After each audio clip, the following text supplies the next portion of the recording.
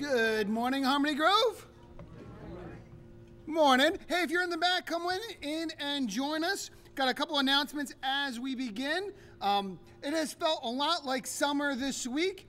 Um, we've been mentioning our summer barbecues um, over the month of June.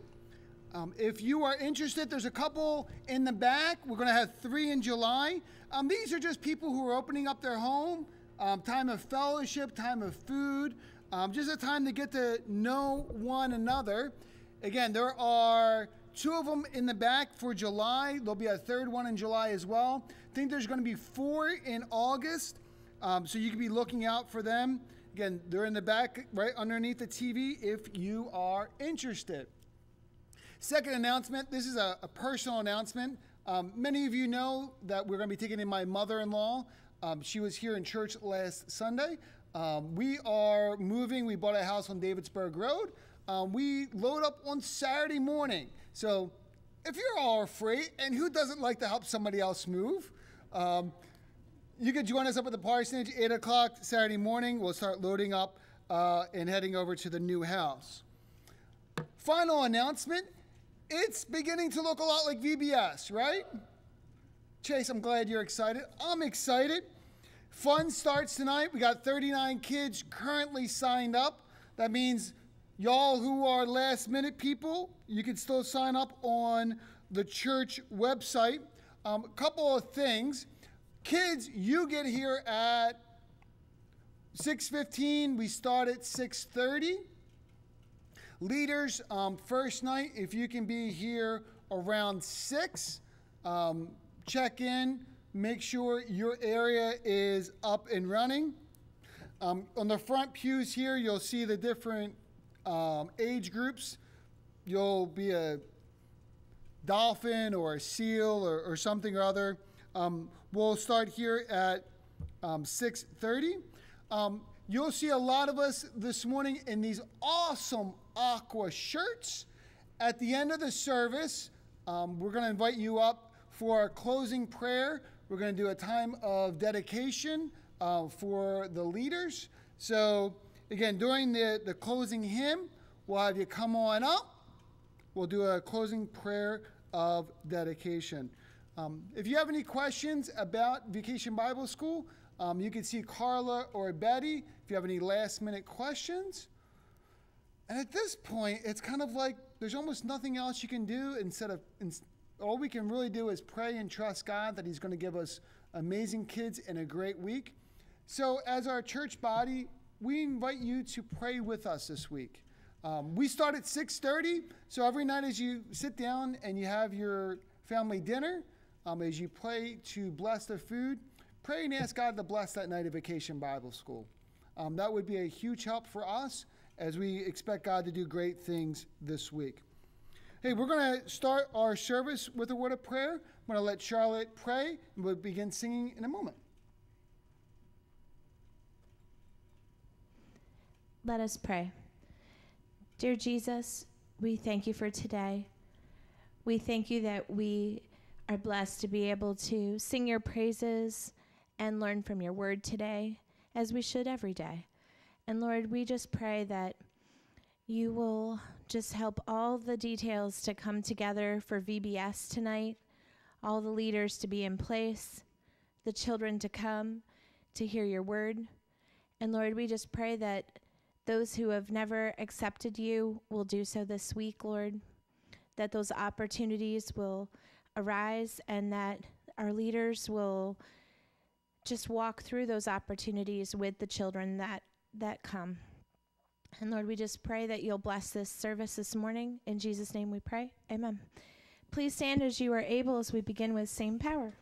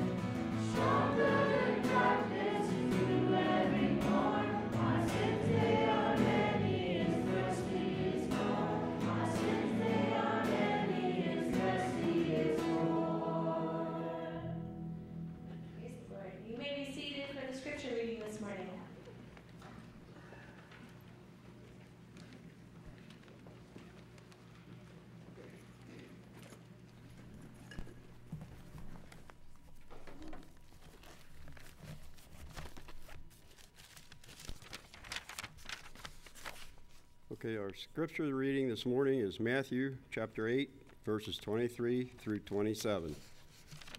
Now, when he got into a boat, his disciples followed him, and suddenly a great tempest arose on the sea, so that the boat was covered with waves. But he was asleep. When his disciples came to him and awoke him, saying, Lord, save us, we are perishing. But he said to them, Why are you fearful? O ye of little faith. Then he arose and rebuked the winds and the sea, and there was a great calm. So the men marveled, saying, Who can this be that even the winds and the sea obey him?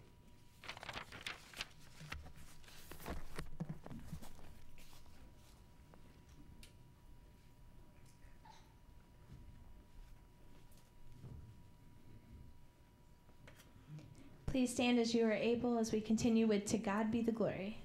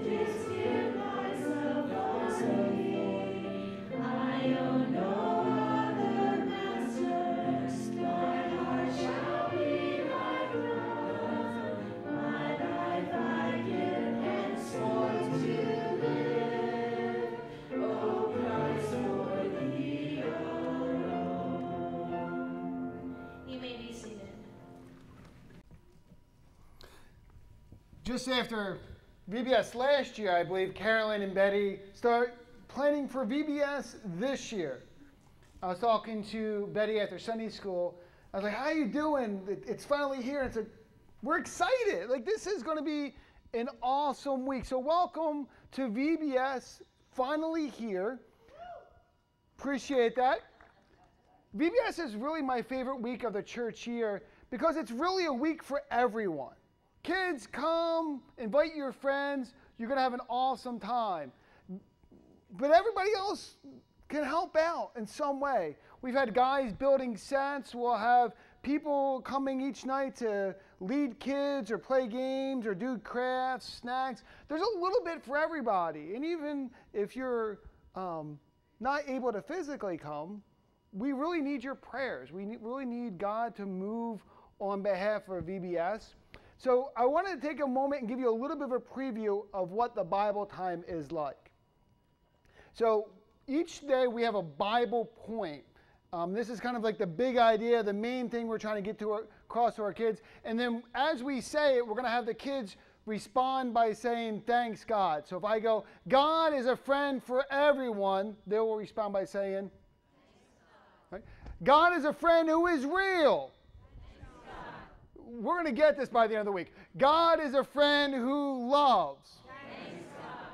All right, we got two more, so let's pick it up here a little bit. God is a friend we can trust. And then God is a friend forever. So God did a really cool thing with today's lesson. If you've been coming here, you know we're going verse by verse through the book of Matthew. Um, but in our fourth lesson, God is a friend we can trust, the lesson is actually the same Bible passage we would be going through in Matthew. So, Jesus calms the storm is both our text this morning, and it is also our Thursday, or excuse me, our Wednesday night Bible lesson.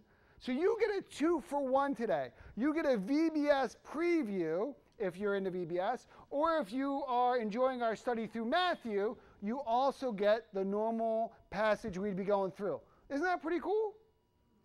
Some of you are, aren't with me. Some of you are like, hey, I see the irony in that. Praise the Lord. Um, we are going to go through a whopping uh, five verses this morning. Butch got off a little bit easy with the reading. Um, if you're not there, uh, page 555 in the Pew Bible. If you have a, a Bible app, we use the New King James. Um, we are right in the middle of Matthew 8, verses 23 to 27. Let's take a moment. We'll pray for our message and we'll get into our text this morning. God, thank you that you are good. Thank you that you are a friend we can trust. Lord, that you are with us on the mountains, you are with us in the valleys. God, you are with us in the storms of our life. In all these times and in all situations, you are a friend we can trust. So, God, we ask for your help as we look at this text. In Jesus, we ask, Amen. If you want to take notes, got a insert, some blanks you can fill in. First point is following Jesus begins by saying now when they got into the boat. So now at the end of the day, and this has been a long day. You got the Sermon on the Mount, got a morning full of Bible teaching. You got various miracles Jesus has done in chapter 8. He's healed the leper. He's healed the centurion servant. He's healed Peter's mother in law. He heals people all throughout the night. Now, after the disciples have heard and seen all these things, now Jesus says to get in the boat. And when Jesus says to get in the boat, you know what they do? They got in the boat. They followed Jesus at where we looked at this two weeks ago before Father's Day, before the heat wave, before all these things happen. The end, uh, the few verses, there's some other people who want to follow Jesus. And Jesus actually has an open spot. There's only 11 disciples at this point. And one says, Yeah, Jesus, I want to come. If this is what following you is like, sign me up. I'm here for the miracles. And Jesus says, Well, it's not going to be all mountaintop experiences. You know, foxes have holes and the birds of the air have nests, but there's times where I don't have anywhere to lay my head. And the guy goes, Ooh, I'm not here for the, for the bad times. I'll back out. Another says, Hey, Jesus, I'll follow you. Just got this one thing I got to do first. And he leaves. But when Jesus says to the disciples, get in the boat, you know what they do? They, they get in the boat. And they go across the sea. So the G, Jesus gets in the boat, and the disciples follow. Why? Because God is a friend we can trust. See how that kind of comes in? We're going to work that in today.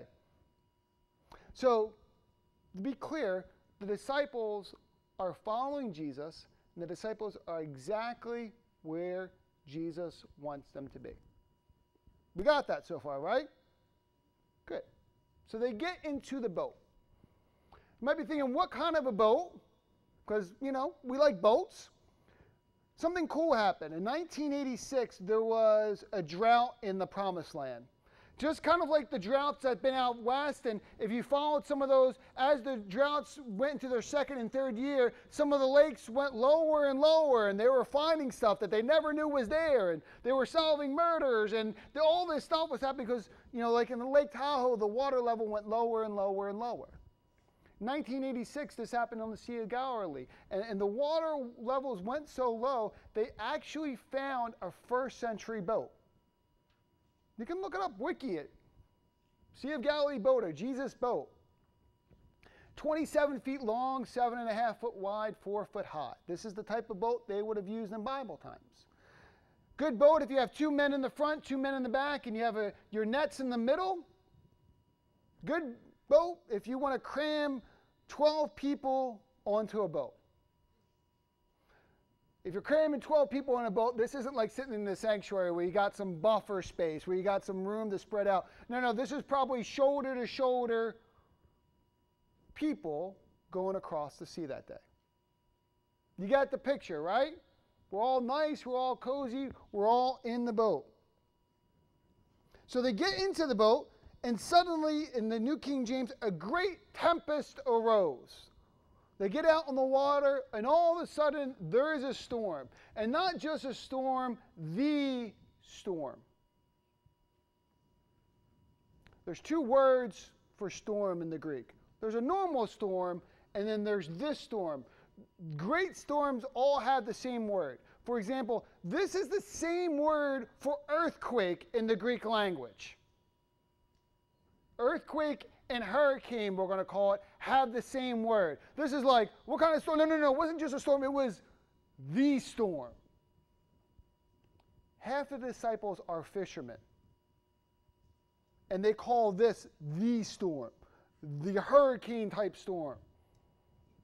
The storm that came across and got them all thinking, oh no, what's going to happen next?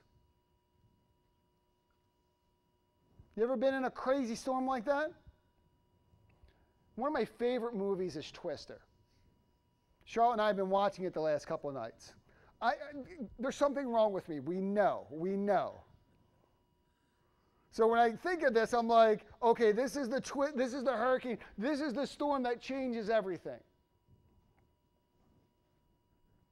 The storm, the hurricane, the earthquake storm, it arose so that the boat was covered with the waves.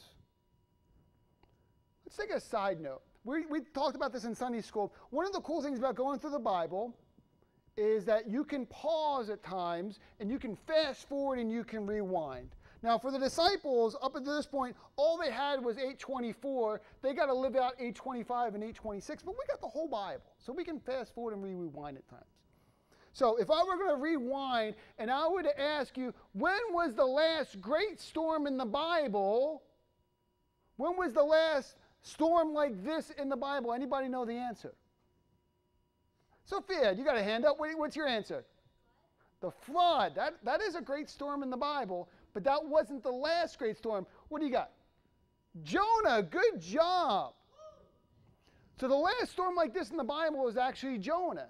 And if you know the story of Jonah, Jonah's running from God.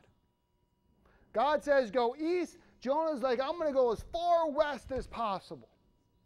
And as they get across the Mediterranean Sea, probably heading for Spain, this storm shows up.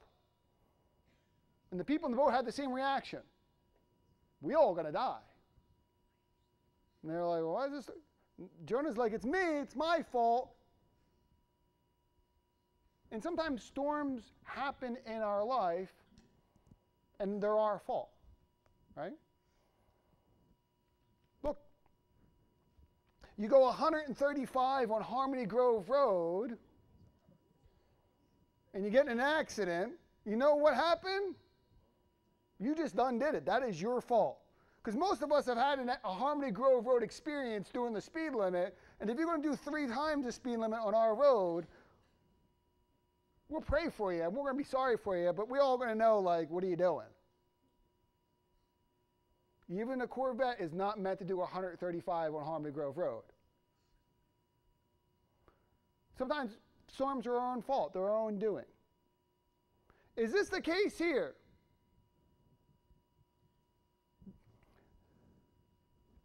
The storm didn't happen because they were running from God. God put them in the boat. This is exactly where they should be. Following Jesus, all of a sudden they found themselves in a hurricane type storm. Leads to another question. Well, if we're in real trouble, how could this possibly be God's will for my life? Let me ask you this another question. How many of you have ever taken a trip, like the disciples were taking a trip, and you ask people to pray for safety? God, get us to fill in the blank safely. Nod your head. We've probably all done that. Hey, we're going to say a, a quick prayer as we head out across the sea. Now, granted, half of them are fishermen and they've been out in this boat all their life. Hey, if this is God's will, how can it be unsafe? Like we have this idea sometimes in our country that safety and godliness go hand in hand. And it's just not true. For example, if God's will is for you to always be safe, then how do you answer the Christians in Iran right now? Or the underground church in China that can be raided at any time's notice? Was it safe for Jim Elliot to go down to the jungle in Ecuador? Or how many of our forefathers have been killed for their faith because it was God's will for them to preach, and in preaching the word of God, they end up giving their life. Again, I'm not saying you should never pray for safety, but just because something doesn't go according to your plan does not mean it is not God's will for your life. And in fact, often life doesn't go according to our plan. And maybe that's exactly where God wants you. This isn't a storm because they're running away from God. This is a storm because God is drawing them closer to Himself and showing them that God is a friend we can trust even in the storms of our life. So we praise God. Third question I got is well, why is Jesus asleep? I mean, think about it. There's a hurricane, an earthquake type storm. The boat is getting smashed with waves. And where is Jesus? He is asleep. Why doesn't God just get up and fix it right away? When we go through a trial, when we go through a problem, why doesn't God just immediately send lightning bolts or send fire or just immediately, bam, fix the problem in our life? That's often what we want, right? We don't like this. God, you should fix it. And yet, God doesn't choose to fix it right away, does he? Where are, what is the concern of the disciples? Disciples run to Jesus and they wake him up. They say, Lord, save us. We're perishing. Don't you see all this stuff happening? Why aren't you doing something already? They're more focused with the waves outside of the boat than the Savior in the boat. Their focus is wrong, isn't it? Mark puts it this way Jesus was in the stern or, or in the back of the boat. He's asleep on a pillow. And they woke him. They said, Don't you care we are perishing? My translation, Don't you care we're about to die? This is not what I signed up for. Again, they're not in a storm because of disobedience, because of obedience.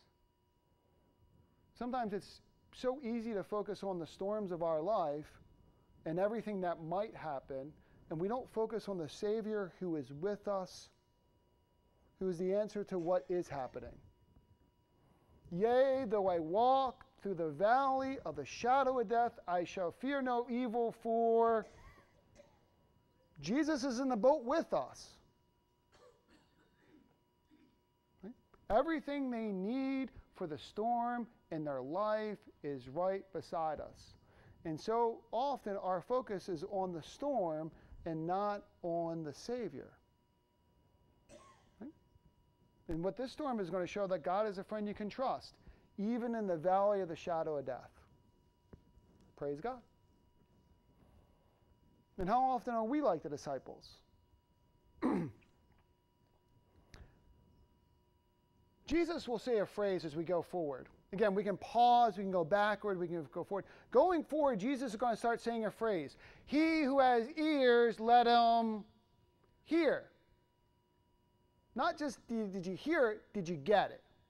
Because the disciples just had a morning of the Sermon on the Mount where they got three chapters full of Bible teaching. They were fed, they were full. They've had a day experiencing the power of God. Jesus heals the incurable disease. Jesus heals the servant. Jesus heals Peter's mother in law. P- Jesus heals people all night. And how often do we respond like disciples? Hey, hey, I'm glad God is working in your life, but when the trials happen to me, I'm going to run with a chicken with my head cut off. They just saw Jesus work, and they saw Jesus work, and they saw Jesus work, and they heard Jesus teach, and they heard Jesus teach, and they heard Jesus teach. And it was great for everybody else, but when it happened to them, how did they respond? God, aren't you going to do something? We about to die.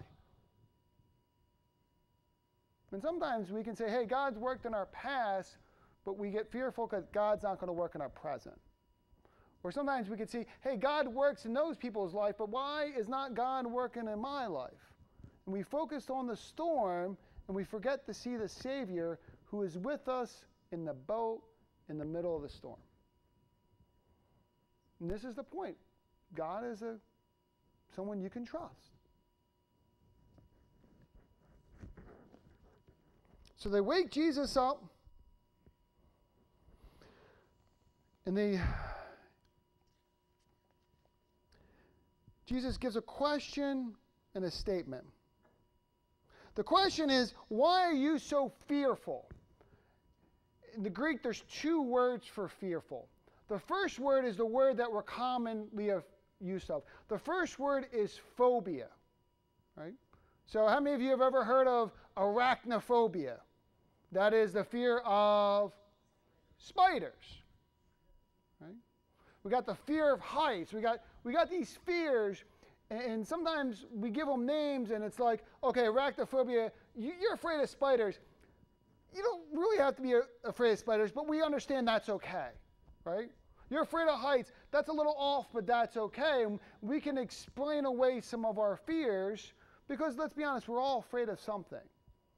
This isn't the word Jesus used. When he says you're afraid, it's not that you have a phobia, it's not that you have an understandable fear. Actually, the word Jesus is used is coward. He says, Why are you guys cowards? Or why do you have cowardly fear. Right?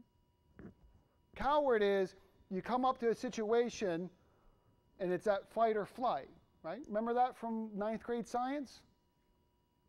And some of you are going to dig your heels in and you're going to be stubborn and you're going to fight the bully. And some of you are going to go, oh no, I ain't doing this. And you're going to hightail it out of there. And this is how Jesus responds to their heart. The heart of the disciples is after hearing Jesus teach and seeing Jesus provide and do great things again and again and again, when it happens to them, they run and they're cowards. O you of little faith. Because the teachings of Jesus are if we have faith as small as the mustard seed, we can say to this mountain, be moved. Or we can say to this storm, be still. Or we can say that God is with us, who can be against us? And the answer is no one. Instead of trusting that God is with them in the boat, in the storm, they run and they're afraid for their life.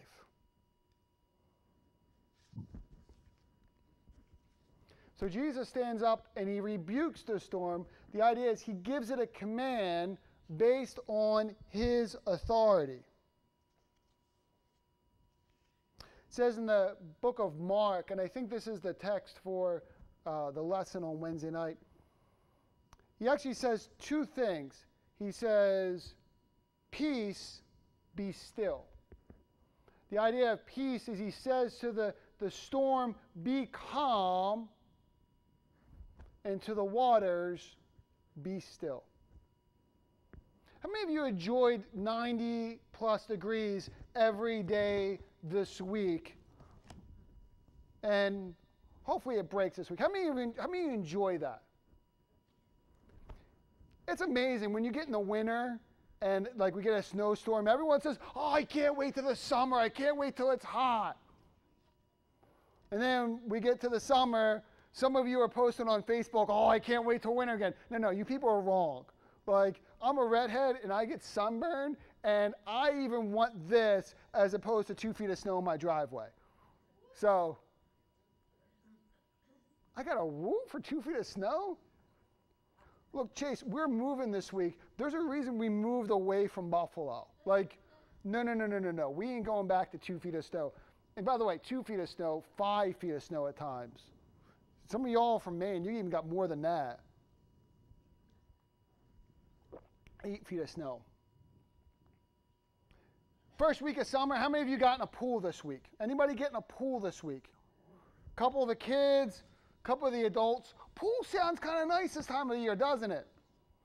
Favorite part of the pool is when you see the pool that's been untouched. It's like perfectly calm. Nod your head if you know what I'm talking about.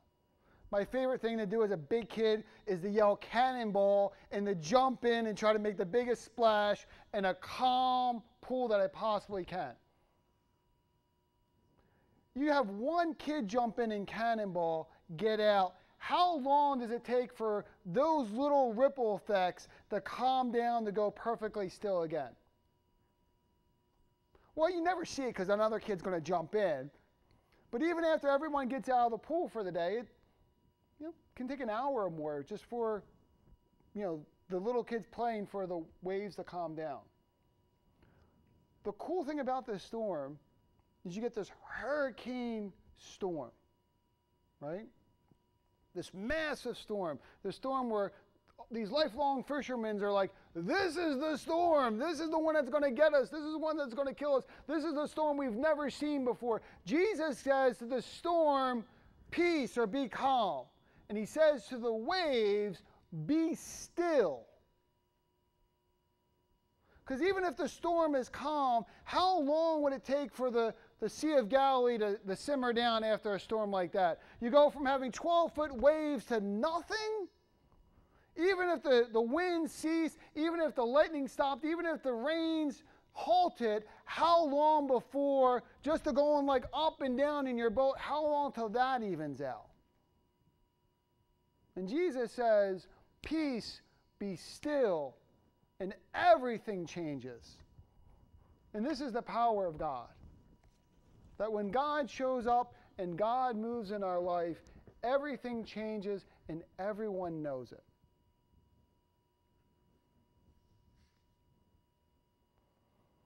By the way, over time, if we're not careful, we can be like the disciples. Disciples started out that morning, they were fed. They, they got the Sermon on the Mount. They got three chapters of the teachings of Jesus. And they heard and they listened and they, they, they knew and they had ears and they understood, but they never really applied it to their life. They saw God work in other people, and yet when it was time for them, they never really applied it in their life. And here's the honest truth storms reveal your true faith. Jesus says to get in the boat, they never thought a storm was coming. We can't plan out storms, right? I can't look at my Google calendar and go, you know what, God, next Thursday, if you want to send something, uh, that would work into my schedule. If you want to test my faith then, uh, we could do 20 minutes if you like. That's not how it happens, isn't it? A couple of things about storms. We're all going to go through them. They're not on any of our calendars. They're often bigger than we want, and the ripple effects go wider than we can imagine. Because if we were saying, hey, you can get a storm, we're like, I'll take the, I'll take the kiddie pool waves, right? We'll, we'll, let the, we'll let the big waves for, for other people, but you know, if I have to go first, give me, give me the one foot waves. And that's not how life works.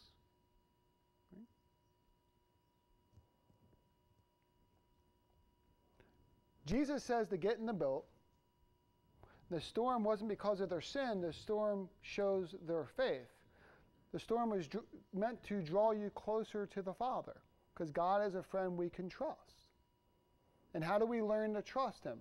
Well, we can understand how to trust Him here, but we learn how to trust Him out there when it's unexpected and when it's real in our life. So, storms will reveal your true faith, and how you respond will have ripples into other people's life. So, your kids and your grandkids need to see real life faith during the storm. This is how we pass on the faith to our kids. This is how we have the credibility to share our faith with our coworkers. Because at work, storms are going to happen to everybody, but you got to be able the one that through your actions say, no, no, no, I trust in God in this. God is a friend we can trust. And God is the one who walks with me in the dark valleys, and God is the one who's going to help me get through. Don't want to leave verse 27 out. So the men, again, half of them fishermen, Matthew writing this grew up on this lake or sea. They're marveled. Again, this is the word that you're awestruck. It's kind of like, I don't have any words, but sometimes your mouth just keeps on running. They're overwhelmed, saying, Who can this be? Who is this man? Even the winds and the waves obey him. And this is the question I'm going to be asking the kids this week. This is the question we have to ask ourselves Who is this man? Who is Jesus really to you? I mean, to some people, Jesus Christ is a swear word. To others, he's a, is a person that they heard about in their youth. To some, he's a good person. Again, it's one thing to, to understand who he is, but it's another thing to put your faith in Christ as your Savior. Look, we can't get to heaven by being good. God so loved you, he sent his Son. If you would believe in Jesus, you don't have to perish. You can have everlasting life. That Jesus isn't someone we just trust in the storms of our life. Jesus is the one where we trust with our soul, and He is the way of our salvation. We wrap this up. We pray that God does great things this week in Vacation Bible School. And one of the things we're going to be asking our kids is the same thing we're going to ask you. Not that you know about Jesus, but have you ever trusted Jesus as your Savior? Ask Him to forgive your sins. trust with Him for your eternal state. And if you've never trusted in Jesus, you can bow your head, you can turn from your past, you can put your trust in Jesus as your Savior this morning. And when was the last time you stepped out in faith and truly trusted in God? Look, storms are going to come. And sometimes the storms are the result of our silliness, but sometimes storms are there to draw us closer to Jesus. Do you trust Jesus with the storms of your life? Not can you say the Bible point, but do you know in your heart God is a friend you can trust in the moments that you're in the valley, as you're going through the wind and the waves, and whatever life has thrown at you, that you're going to put your faith and you're going to stand tall and you're going to trust that Jesus is there with you. We got a great week of vacation Bible school, don't we? Hopefully, you understand that God is a friend you can trust. Moment, we're going to pray. And as we pray, the worship team will miraculously appear on the stage. We're going to sing a, a few verses of our final hymn. And as we go through our final hymn, I'm going to invite our Vacation Bible School workers to line up across the front. And we will close um, with a time of uh, dedication for our VBS workers this morning. Let's pray together. God, we thank you that you formed us and that you know us and that you love us. You so loved us, you sent your son Jesus, that if we would believe in him, we don't have to perish, we can have everlasting life. But Lord, that you just don't forgive us, Lord. You walk with us. You're a friend we can trust in all moments of our life. So as life is unexpected and the storms are, are harder than we would like, Lord, that you draw us close, that we know your power, that we can feel your presence, that you walk with us in the dark valleys of life. So we thank you for you are good. It's in Jesus we pray. Amen. Hey, stand and sing with us. And as we sing, leaders, make your way forward for our clo- closing prayer.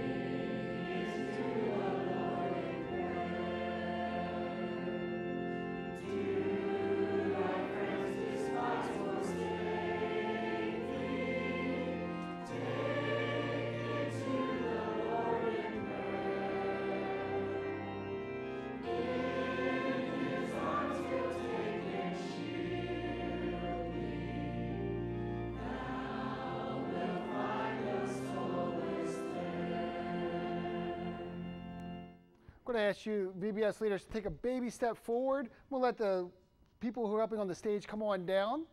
So you take a, take a baby step towards the middle as well. It's up to you too, because you're in the middle. Uh, actually, Sophia, give room for Mama right there. I can't have the giant standing in front of me. Um, we're going to pray. We'll pray a special prayer of dedication. Um, after we're dismissed, um, if you want to come up and encourage our VBS workers or tell them you're praying for them this week, we could use your prayer as well. Um, again, 6.30 tonight we start. Um, we still have some open spots, so we could use a few more kids. Um, we will pray we'll be dismissed. God, thank you so much for all the planning and for all the hard work and everything we've done up until this point, Lord. Um, we understand in the Bible that faith without works is dead. And Father, you've seen our works, Lord. You've seen our um, going through the lessons and preparing for snack and craft and games and singing. And God, hours upon hours that we've put into this moment. Lord, all the invitations we've given out and, and sharing it on social media and all these things, Father. And yet, Lord, by faith, we pray that you would do great works this week, Lord. That you would allow kids to show up, that you would open their hearts to hear and to receive. Lord, that you would move in, in families, Lord, that you would use us, Lord. As you said, the prophet Isaiah, who can we send? And Lord, here we are. Um, we, we've stepped up, Lord. We've given our time and our talent and God, we pray that you would bless these efforts, um, that you would do things in kids' hearts, that you would do things um, through the theme and through the lessons, things that we can't do, Lord, that you would uh, draw kids to yourself, that uh, salvation would come to many, that the kids would uh, align their hearts with you, Lord, that you would see real life faith lived out in our young ones. So, Lord, to us as leaders, God, we pray for your hand upon us, your blessing, your spirit to move within us. Um, Lord, that we would uh, praise you for great and many things that you are done this week. So, God, we give this to you and we trust in you for the results. So, Lord, we ask for your blessing as we leave, um, as we go through this week, Lord, that we would trust you even when it's hard. Lord, in the storms of our life, Lord, that we would seek you and you first and you foremost, that you are not a God who leaves us, but Lord, that you are a God who are with us even in the storms. We thank you for this, and we trust in you. It's in Jesus we ask. Amen. We're dismissed.